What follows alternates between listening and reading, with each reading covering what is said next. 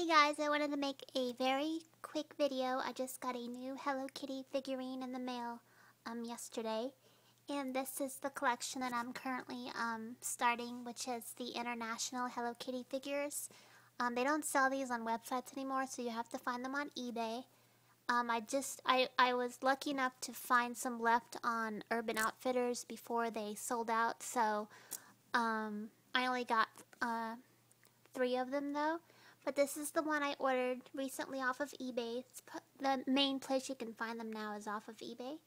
Um, this is the France one. It's so cute. She's got like a little French beret, the um, French flag for her bow, and she's got like a little French outfit she's wearing. And here's the back. These are super cute and really hard to find, and they are collectible. So if you're um, a Hello Kitty collector like me, you definitely should check these out on eBay. They go for pretty cheap.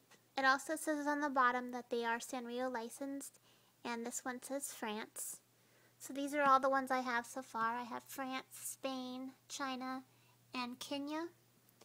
And um, if you checked out my um, previous video, I am selling um, this one, Spain, because I have two of them. So definitely check that out. If you're interested, just message me.